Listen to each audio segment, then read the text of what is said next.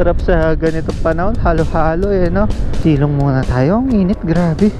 Hoy, naramdaman ko ng aircon. Ito na yung signage ng Robinson Star Mills. Haba ng hamso.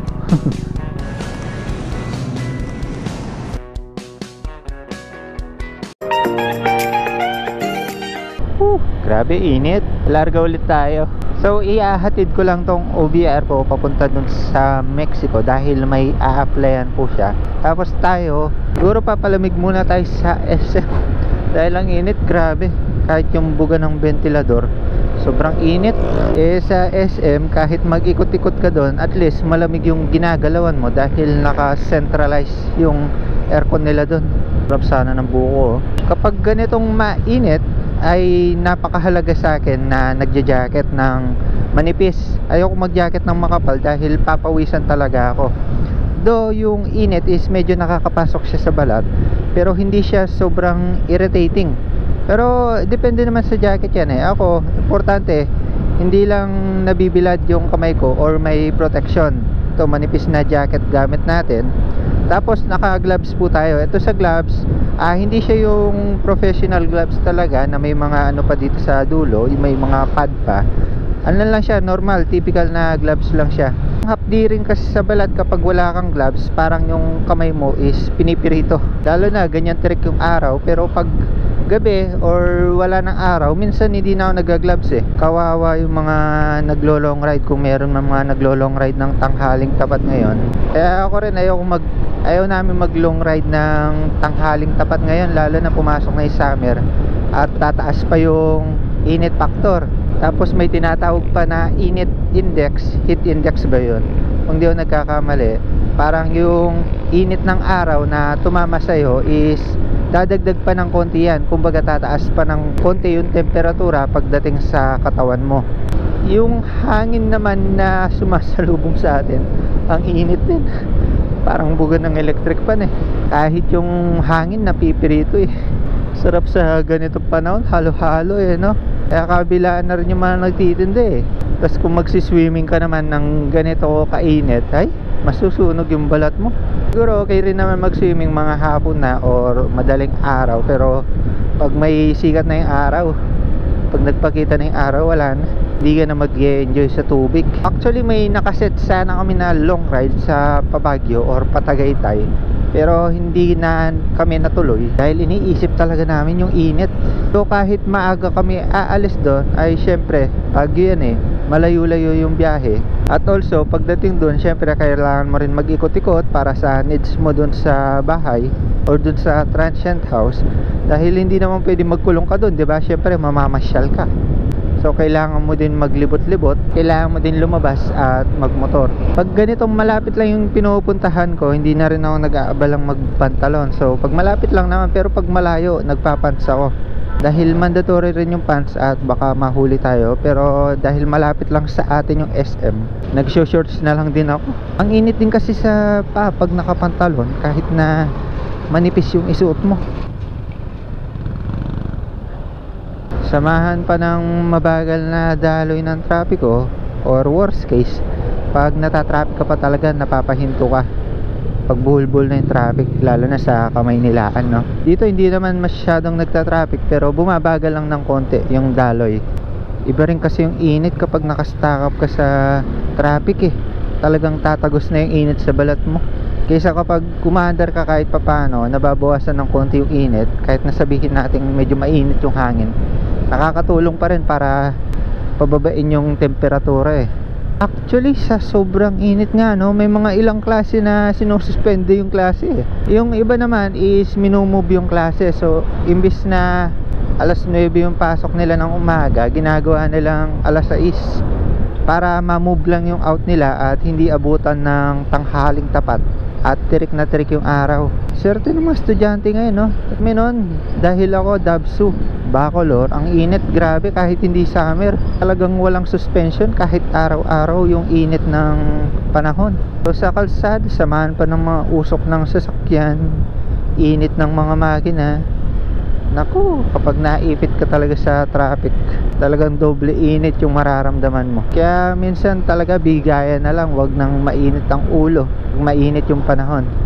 Meron nga ako nakita one time may aksidente eh. Tapos yung mga parang may-ari nung sasakyan na kaabutan or nagkatamaan, nakasilong na lang. Dito siya. Kaya nga hindi ka nag-helmet eh. Yun pa pala, samahan pa ng init or kulob dito sa helmet yung ulo mo sa mga motorcycle rider. Gets nila yung pakiramdam na to. Mainit na tapos balot pa ng helmet yung ulo mo talagang papawisan ka kahit anong gawin mo. Whew. Grabe ang init. Itong part na to ay lagun dito kung hindi ako nagkakamali. So banda dito may mga factory na. At shortcut din to papunta ng San Fernando kapag diniretso natin. Ah sige, hintayin na lang kita. Silong muna tayo. Ang init, grabe. So, ayun, iwan muna natin yung OBR natin. Basta yan, punta muna tayo sa SM or Robinson. Palamig muna tayo. Init, grabe. So, dito, pag diniretso natin ito, may daan na to. So, hindi ito yung main road or main highway.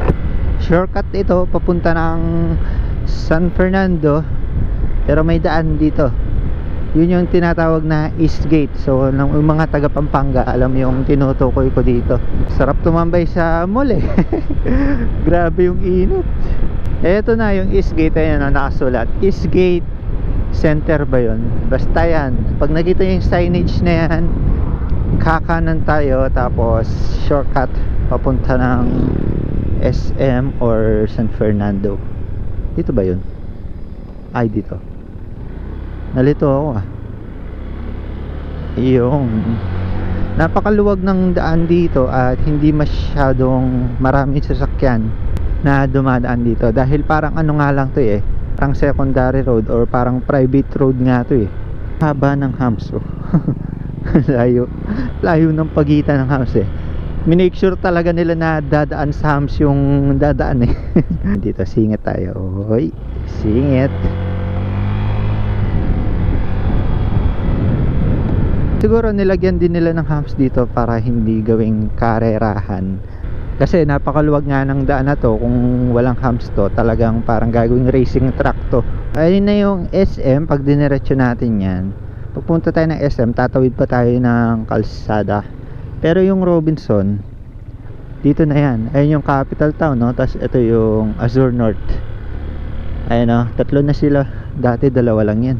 Pa ako nakapunta dun eh pabalak namin mag Azure na lang kami kaso ay sayang sa pera parang nagpakayaman ka lang ng isang araw in-experience mo lang yung buhay mayaman. Lalo na one day nasa 2.5 din ata yung pinakamura dyan sa Azure North na yan. May entrance ba dito? meron naman siguro. Ayun entrance tayo dito. Lagi ako nag-exit dito eh pero hindi ako nag-entrance. No entry So ikot tayo. Ayun no, no entry. Oy, dito. So iikot tayo. So change plan tayo. Robinson na lang tayo. Total nandito na rin naman tayo kaso ikot pa tayo para sa parking. As of now, dumada tayo sa exit pero paikot tayo. Ayun yung SM nasa harap. Ayun. Lipat kalsada. Grabe init. Pa-aircon lang tayo. Uy, naramdaman ko ng aircon. So, kung exit, kakanan ka na. Pero kung punta ka ng parking, diretsuin pa natin yan. Ito na yung signage ng Robinson's Terminals. Mas maganda yung design ng Rob kaysa sa SM actually ah. Yung design ng architecture niya. Yung pagkakagawa yung SM Pampanga kasi parang kwadra-kwadrado lang eh parang box-box lang eh. Pero sobrang haba ng SM dito eh.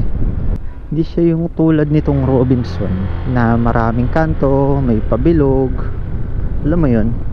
Eto pala mas makikita natin ang malapitan dito. Yung Azure North.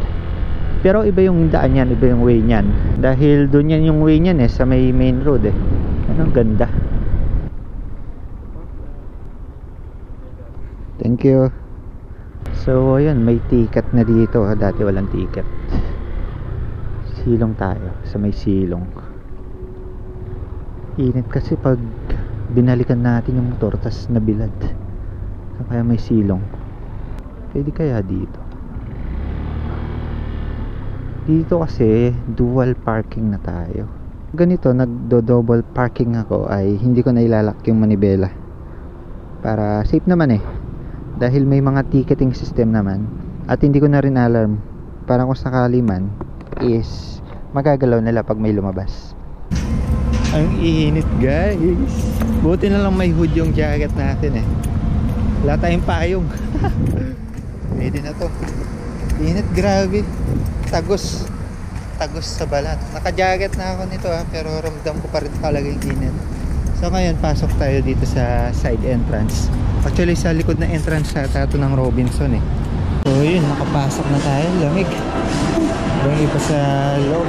Ay ibang iba sa lamig. Inom lang siguro tayo ng pampalamig. Bili tayo ng pampalamig tapos upo tayo dun sa massage chair nila.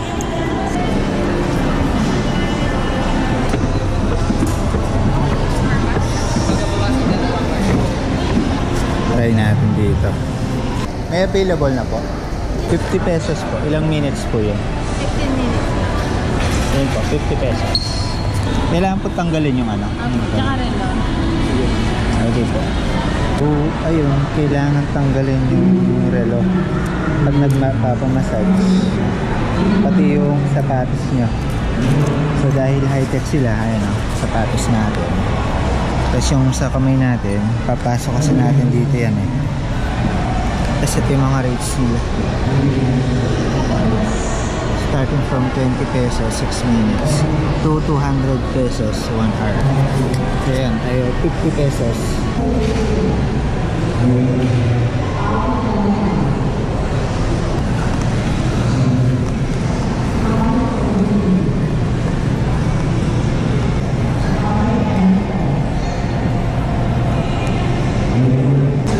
Grabe yung massage chair nila ngayon. Ang sakit, di tulad nung dati.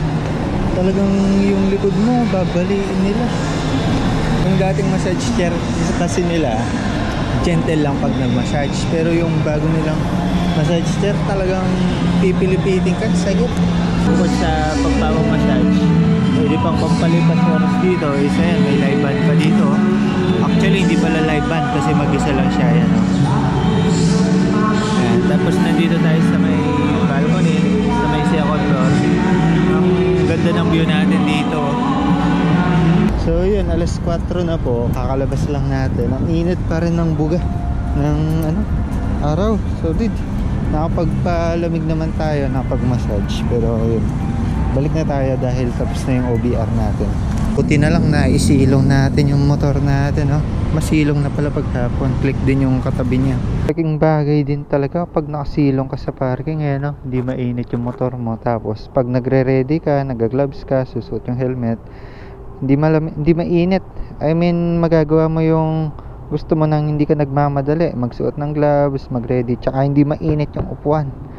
Ganda talaga ng Azure North na to. Kailan kaya mapupuntahan yan? Ganda ng kulay nyo. Ay.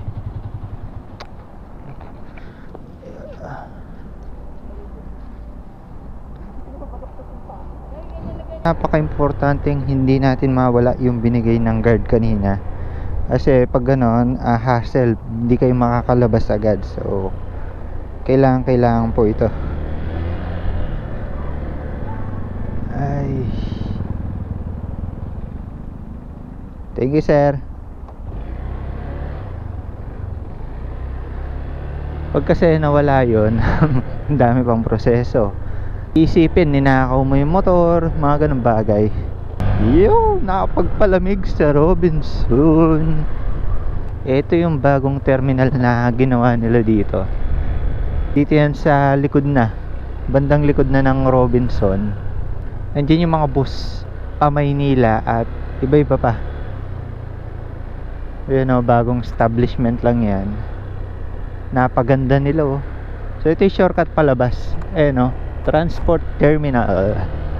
Shortcut palabas para hindi na tayo lalabas ng highway. Rekta na tayo sa may East Gate. Or yung kung saan tayo dumaan kanina yan. Lalabas tayo dito. sarap sana ng hangin kung hindi mainit eh. Ang init ng hangin.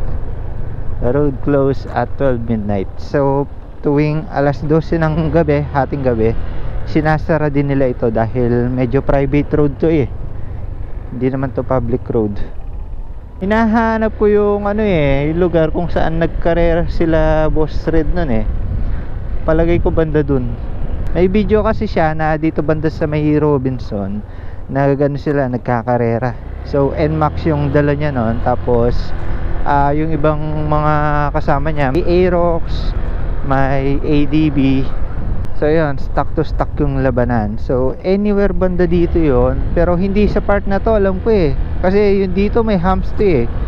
Di naman. Ah, siguro dito.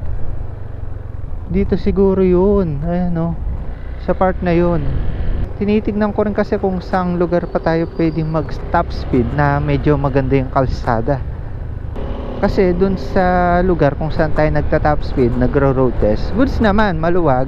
Walang mga dumadaan na sasakyan. Kaso yung road condition dun hindi mo masasabing maganda eh. Kasi ano eh ah, hindi siya totally flat. Kaya pag nag top speed ka doon talagang may part pa na yuyug-yugin niya yung motor. Kaya hindi mo talaga makukuha yung pinaka top speed. Actually may mga marami naman part na asfalto at magandang kalsada pero ayun ayoko talaga mag top speed sa may mga sasakyan na pwedeng madamay mas okay din kasi na clear na clear so yun nandito na si OBR natin oh. pagod na pagod siya Kamusta interview? Kamusta interview? Parang masarap maghalo-halo. Saan ba? Sa Wala eh. Nakapagpalamig na ako dun eh. Tapos nag-edit na lang ako eh. nag-edit ako tapos nagpa-massage. Tapos bumili ng buko juice. Ay buko shake. Lalo ako nauhaw. Big bike itong nasa likod oh. Uy, sarap sa ears. So yan lang muna para sa video na ito. The more click, the more you know. Moto Arc. Bye bye.